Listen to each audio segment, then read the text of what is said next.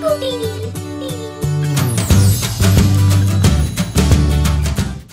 பசங்களா. இன்னைக்கு நான் உங்களுக்கு ஒரு புது கதைய சொல்ல போறேன். அதோட பேர் என்னன்னா மந்திர பரிசு. ஒரு கிராமத்துல பெஜ்ஜுங்கிற ஒரு பையன் அவனோட அம்மா கூட இருந்தானா பெஜ்ஜுவோட அம்மா ஊர்ல காய்கறி கடை வச்சிருந்தாங்களாம். அதுலதான் அவங்க வீட்டு செலவெல்லாம் நடந்துகிட்டு இருந்ததான் ஒரு நாள் அவனுடைய அம்மாவுக்கு ரொம்ப உடம்பு முடியாம போயிடுச்சாம். அதனால அவன் தன் அம்மாவுக்கு பதிலா காய்கறி விற்கிறதுக்காக போயிருந்தானா. ஸ்கூல் முடிஞ்ச உடனே வீட்டுக்கு சீக்கிரம் போகிறதுக்காக அவன் நீளமான பாதையை விட்டுட்டு காட்டுல இருக்கிற குறுக்கு வழியை பயன்படுத்தினானா எப்படியாவது நான் சீக்கிரம் வீட்டுக்கு போய் ஆகணும்.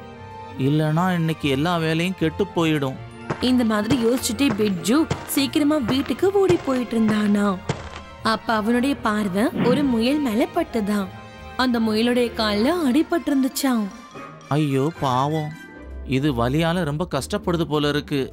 பிட்ஜு முயலுக்கு பக்கத்துல போனானா அதோடைய காலை தண்ணியால கழுவிட்டு அதோடைய காலுக்கு கட்டு போட்டு விட்டானா அந்த முயலுக்கு உதவி செஞ்சுட்டு அவன் முன்னேறி போகும்போது அவனுக்கு பின்னாடி யாரோ பேசிக்கிட்டு இருந்தது அவனுக்கு கேட்டுச்சாம்.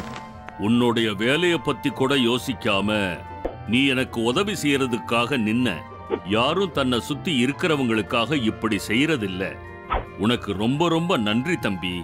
அந்த குரலை கேட்டதும் பிட்ஜுவுக்கு ரொம்பவே பயமாயிடுச்சான் பயந்து அவன் திரும்பி பார்த்தானா அப்ப அங்க ஒரு சன்னியாசி நிக்கிறத அவன் பார்த்தானா சுவாமி நீங்க எப்படி இங்க வந்தீங்க? இங்க ஒரு அடிபட்ட முயல் தானே இருந்தது.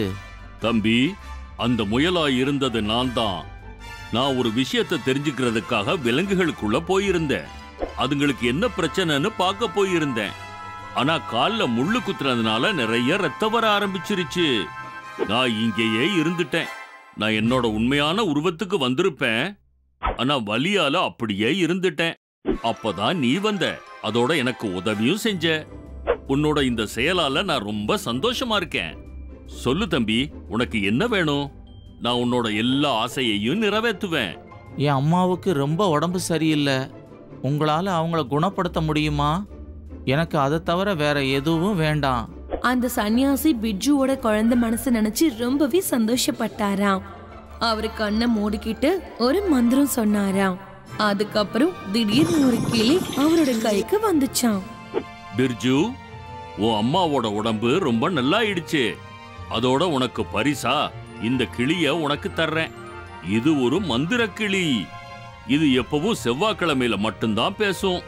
அதோட ஒரு கேள்வியும் கேட்கும் நீ கேள்விக்கான சரியான பதில சொன்னா இது உன்னோட எல்லா ஆசையையும் நிறைவேற்றும் அதோட ஞாபகம் வச்சுக்கோ இது உன்னோட ஆசையை மட்டும்தான் நிறைவேற்றும் இப்படி சொல்லிட்டு சாமியார் பிட்ஜு கிட்ட ஒரு கிளியை கொடுத்தாராம்.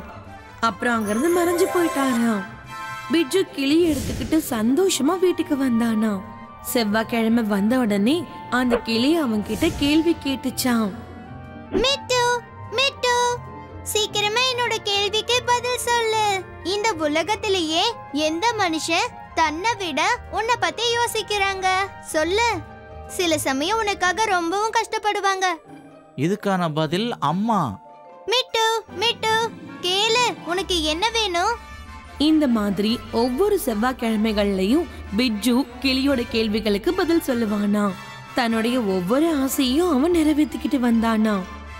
பார்த்துக்கிட்டு இருக்கும்போதே பிட்ஜுவோட வாழ்க்கை தரம் மாறிக்கிட்டே போச்சான் அவனோட ஒண்ணு விட்ட சகோதரன் சுரேஷுக்கு அதை பார்த்து ரொம்ப பொறாமையா இருந்துச்சான் அவன் அமைதியா பிட்ஜுவை கவனிச்சுக்கிட்டே வந்தானா ஒரு செவ்வாய்க்கிழமை பிட்ஜு அந்த கிளி கிட்ட வரம் வாங்குறத பார்த்துட்டானா ஓ அப்படியா?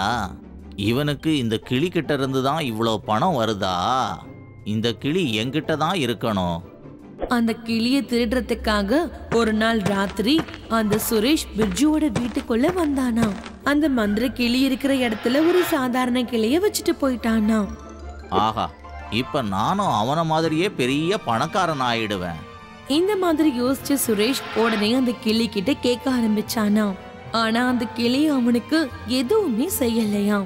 இதெல்லாம் பார்த்த சுரேஷ் ரொம்பவே கவலைப்பட்டானா இந்த மாதிரியே கொஞ்ச நாளும் போயிடுச்சான் அதோட கிளி எதுவும் பேசாம இருந்ததை பார்த்துட்டு சுரேஷ் ரொம்பவே கவலைப்பட்டானா அங்க செவ்வாய்க்கிழமைகள்ல மட்டும் கிளி பேசுறதுனால கிளிய பத்தி பிர்ஜுவுக்கும் எந்த சந்தேகமும் வராமலே இருந்துச்சான் செவ்வாய்க்கிழமை வந்ததும் சுரேஷ் வீட்ல இருந்த அந்த கிளி பேச ஆரம்பிச்சுதான். தன்னுடைய கேள்வி அது கேட்டுச்சான் மிட்டு சீக்கிரமா என்னோட கேள்விகளுக்கு பதில் சொல்லு. எது ரொம்ப நல்லா இருக்கும்? பணத்தை விட ரொம்ப விலை உயர்ந்தது. சுரேஷ் கிளி பேசுறத பார்த்துட்டு ரொம்ப சந்தோஷப்பட்டானா? அதோட கேள்விகளுக்கு எந்த பதிலும் சொல்லாம அவனுடைய ஆசைகளை கேட்க ஆரம்பிச்சிட்டானா? சீக்கிரம் எனக்கு நிறைய சுவையான உணவுகளை கொடு. சுரேஷ் இந்த மாதிரி சொன்ன உடனே அவன் வீட்ல இருந்த எல்லா சாப்பாடும் காணாம போயிடுச்சான் அதுக்கப்புறமா கிளி மறுபடியும் அவன் கிட்ட கேள்வி கேட்டுச்சான் மிட்டு மிட்டு சீக்கிரமா என்னோட கேள்விகளுக்கு நீ பதில் சொல்லு. ஆமா யார் நீ? கிளியோட கேள்விகளை பார்த்து சுரேஷ்க்கு ரொம்ப குழப்பம் அடிச்சான் அவன் மறுபடியும் கேள்விகளுக்கு பதில் சொல்லாம ஆசைகளை சொல்ல ஆரம்பிச்சிட்டானா என்ன நீ கேள்வி மேல கேள்வியா கேட்டுக்கிட்டே இருக்க? முதல்ல என் ஆசையை நீ நிறைவேத்து. எனக்கு நிறைய பணம் கொடு. சுரேஷ் இந்த மாதிரி சொன்ன உடனே அவன் வீட்டுல இருக்கிற எல்லா பணமுமே காணாம போயிடுச்சான் அதுக்கப்புறமும் கூட கிளி கேள்வி கேக்குறத நிறுத்தவே இல்லையா இதனால சுரேஷ் ரொம்பவே பயந்து போயிட்டானா கிளி எடுத்துட்டு ரொம்ப வேகமா அவன் பிர்ஜு கிட்ட வந்தானா அங்க பிர்ஜு பொய்யான கிளியால ரொம்ப கவலையில இருந்தானா பிர்ஜு சகோதரா இந்தா உன்னோட கிளி. இது ஒன்றுக்கு மேலே ஒன்றா கேள்வி கேட்டுக்கிட்டே போகுது. இதால என்னோட வீட்டில் இருந்த மொத்த பணம் சாப்பாடு எல்லாம் காணாமல் போயிடுச்சு. தயவு செஞ்சு இதோட வாயை மூடு.